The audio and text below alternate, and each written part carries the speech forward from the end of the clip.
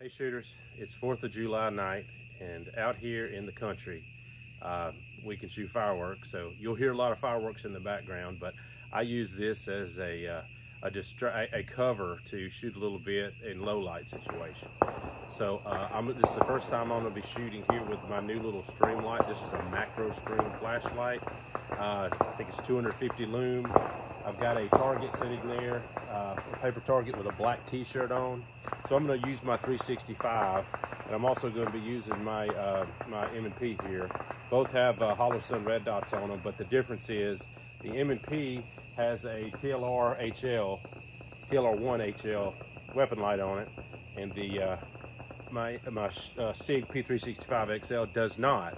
So I'm going to have to use a um, use my uh, handheld light. Normally, I would index near my cheek.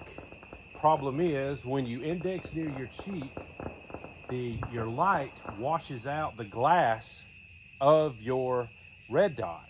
So I've got to train to either come up and press out like this, something along the side of my hand, or click it on and, and put it in between my fingers, which is an extra step.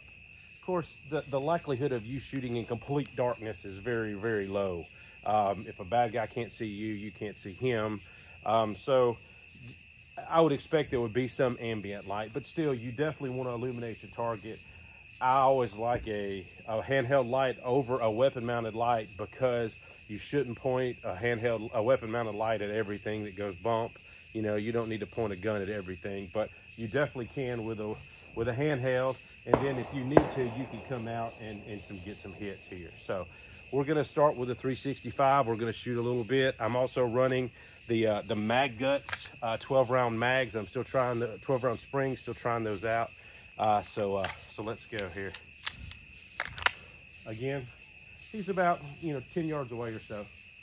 But I'm gonna be drawing out of my pocket where I normally carry my my my light so kind of like, hey, what is that? Oh crap, that's a guy. So you, unless you shoot at night a lot, you're not gonna recognize the smoke, you know? I mean, there is gonna be some smoke. Look at the smoke in the air just from those two shots. I see them both good center chest shots. Let's try again.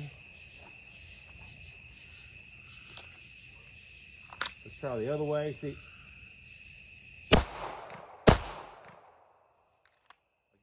flag my hand that time. You don't want to do that. So I'm to try some shooting and moving.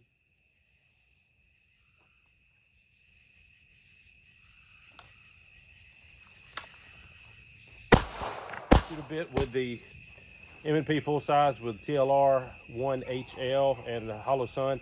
More of a home defense type of weapon here for me, um, but much easier to activate good hits.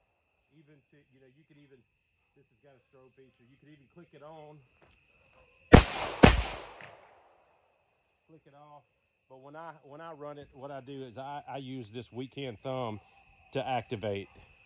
Uh, I don't know if you could see that, but I just push down like that. So it's barely modifying my grip just like that. Of course, you could always click it up too with that thumb.